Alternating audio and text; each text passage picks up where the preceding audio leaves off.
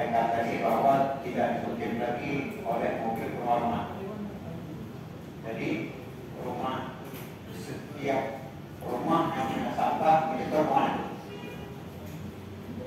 Ke Bang